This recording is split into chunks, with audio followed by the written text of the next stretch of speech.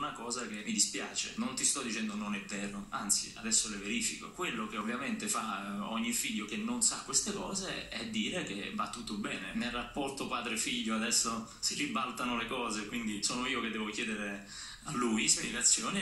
E... Possiamo chiederle se ci fa sapere com'è andata? Sì, assolutamente, ti faccio sapere, tanto tu ti ricordi, anche se i rimborsi ti ho portato il mio conto corrente, tutto quanto. Come sempre la sua trasparenza e la sua disponibilità la apprezziamo. È chiaro che un errore fatto da un papà non può ricadere sul figlio, però noi siamo qui a trattare questo argomento perché se scopriamo che nell'azienda che oggi è di proprietà del ministro del lavoro c'era un tempo qualcuno che lavorava in nero, la cosa fa specie, no? Eh, ma certo, assolutamente. Ci fa sapere allora l'esito di questa verifica con suo papà? Cosa vuoi sapere di preciso? È vero che in passato l'azienda di suo papà ha tenuto in nero dei lavoratori? Okay. Allora, lunedì per te va bene lunedì? Ci sentiamo lunedì a che ora?